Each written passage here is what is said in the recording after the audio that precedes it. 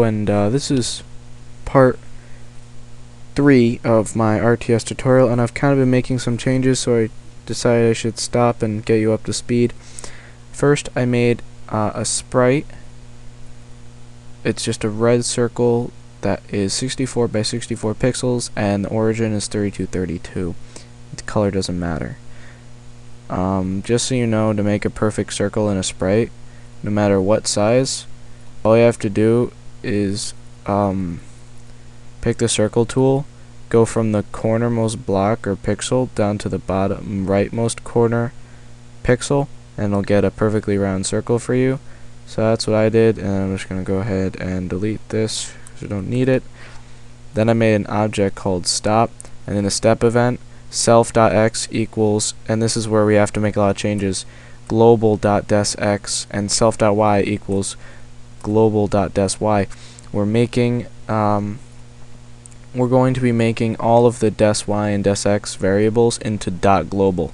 So go everywhere and change desx and desy to global dot. Just copy, I mean paste global dot in front of every time it says desx and desy. I'm just going to be going through all of them. I already did it for that one.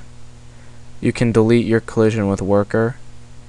Uh, let's see, left pressed. Okay, I didn't do it on this one yet. Don't need to. And this one I think I did. Yep. So once you do all that fancy stuff and make it a global variable, what'll happen is, um, I'll show you. Don't forget to put the object in your room. I'm gonna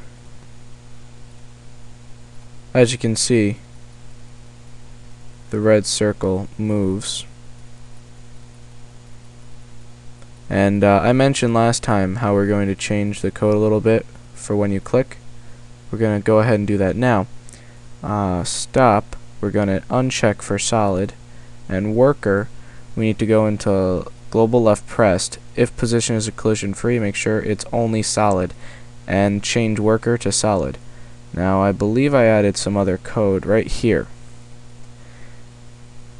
Um, before this this is a lot different. Before we had if selected equals 1, we say moving equals 1 and image angle equals uh, point direction self.x etc etc. Now we're only doing that. We put around that an if statement if self.x is greater than global.desx plus 10 or how you do or you hold down the shift key then there's a, uh, a button right over your enter key or up and to the left. It should also be a slash. I'll do it down here. Slashes. If you do shift that you'll get straight up and down line. Two of those is or. So you say or self.x is less than global.desx minus 10. So it's either greater than or less than global.x plus or minus 10. And then uh, we have an open bracket. So now, basically what it's saying is, where you click has to be 10 to the left or to the right of itself so that means when you're clicking and selecting an object, if you do it towards the center of the object, it won't move or spin around like it did before and it looks a lot smoother. So it won't move when you click on itself or and it won't move when you click on another object. Solid object. All other objects are fine. So that way you can have decorations and things like that. So now when we do it, I'm going to demonstrate for two different reasons, uh, two different things. One of them we have to fix. One, desx sets to itself, and that's the last one. So we're going to select this guy. We're going to move it over here. And it moves to center of that. Can't quite get there because it's checking for all objects.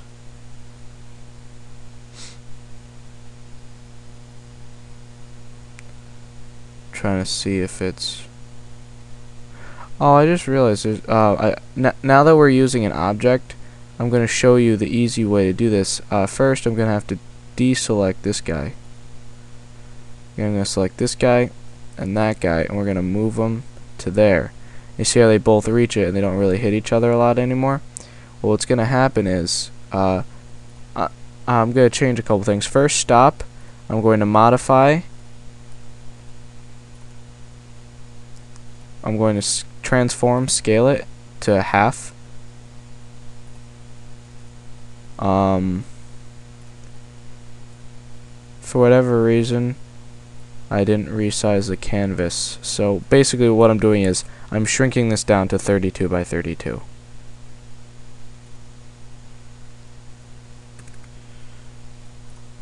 Okay, so we're all set there.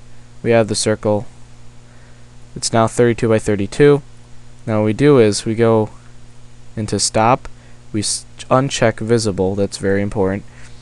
Now worker, what we do is in the step event, instead of MP potential step, what we're going to say is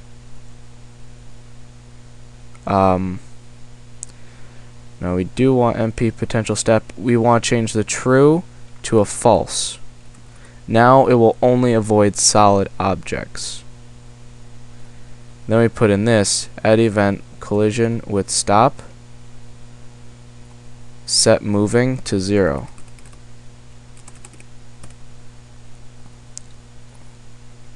Alright, now I also said we'd be going over uh, resources. Doesn't look like we're going to be able to fit that in. Don't think we have enough time.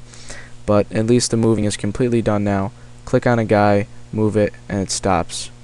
Click on another guy, move them both, they stop, and they all group together. Click on the third guy, have them all move to a central location. He had to move around a little bit, but he got to where he needed to go. Now I'm deselecting these three. I click all around, they don't go. Click on this guy, he's going. Now how will we move this guy back? Okay, select that guy, I'm moving him over there. He'll go around the spaceships until he can reach that area. Now if I click him over here, he'll once again go around the spaceships and find the best way to get to the location. So now they all move around together. They all find ways, and when you click on them, they don't... Oh.